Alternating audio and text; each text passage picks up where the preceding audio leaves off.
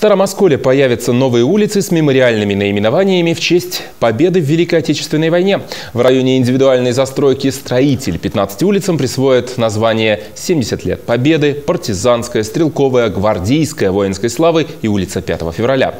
Также здесь будет и 9 именных улиц. Эдуарда Григорьева, почетного гражданина Старого Оскола, основателя клуба «Поиск», Полины Кауновой, которая 26 лет была директором Старооскольского детского дома, художника Зубова, героя Советского Союза генерала Мартиросяна, воинов-бронебойщиков Василия Кукушкина и Павла Рябушкина, военачальника Павла Навродского, единственного кавалера шести медалей за отвагу Семена Грицова и Александра Полуэктова, староскольского лесничего, заложившего парк «Горняшка». Проект обсудили сегодня на публичных слушаниях. Активное участие приняли будущие жители района «Строитель».